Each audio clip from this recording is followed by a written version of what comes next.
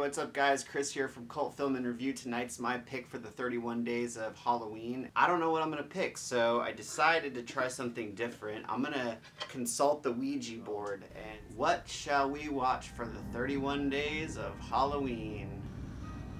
H A C K E R S. Hackers? Nope, not doing it.